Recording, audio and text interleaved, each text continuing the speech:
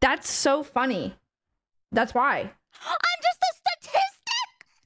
Do you know that in Yeah? in Vermont you can be 100% nude on your property in or out of your home? Wait, beast.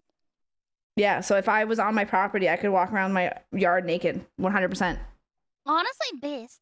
You know, in Ontario, you don't have to wear a shirt. Oh, for like ladies? Yeah. Oh shit.